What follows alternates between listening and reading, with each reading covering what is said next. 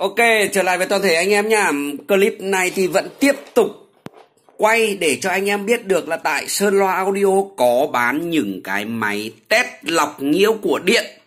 Test lọc điện anh em nào mà chuyên về audio hay chuyên về bán hàng, bán đồ lọc điện các kiểu thì cũng nên đầu tư một cái con máy test lọc như thế này.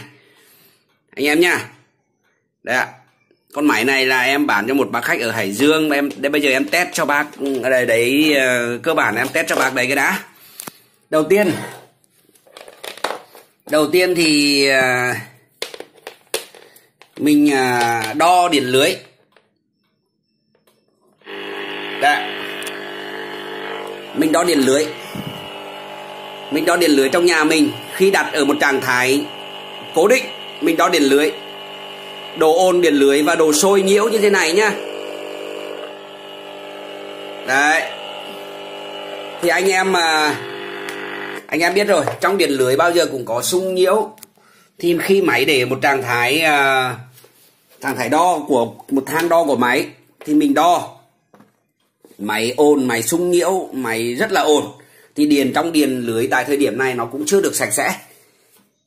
Thì bây giờ tiếp tục khi anh em có một con lọc điện ví dụ anh em sắm một con lọc điện anh em cắm lọc vào. Anh em cắm cắm lọc vào bật công tắc lọc lên đúng không ạ? Đấy. Sau đó sau đó thì anh anh em mà lại dùng cái máy test lọc để anh em cắm vào.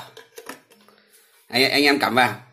Thì sau khi điện điện từ điện lưới này vào lọc lọc sẽ xử lý và nó cho ra cho ra điện êm hơn. Đấy, êm hơn. Đồ nhiễu, đồ ồn nó nhỏ hơn. Thế là lọc, cơ bản là đạt yêu cầu. Tất nhiên chỉ cần, nó chỉ cần giảm đi cho mình là đạt yêu cầu rồi. Đấy.